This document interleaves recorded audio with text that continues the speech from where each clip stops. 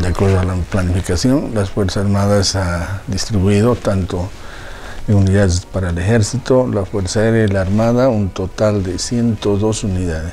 Son más o menos 5.137 efectivos entre oficiales, oficiales, sargentos. Bueno, los uh, lugares más lejanos donde se hace la distribución eh, son los lugares fronterizos.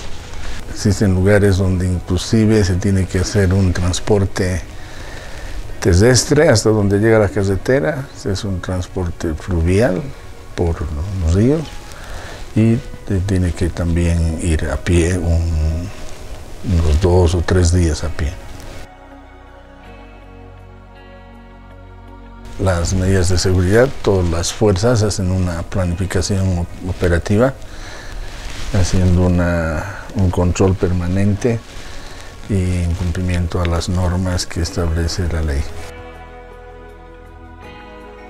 Normalmente se hacen unos cinco meses de planificación porque la cantidad de estudiantes que son beneficiados con esta actividad del bono Juancito Pinto son más o menos más de 2 millones.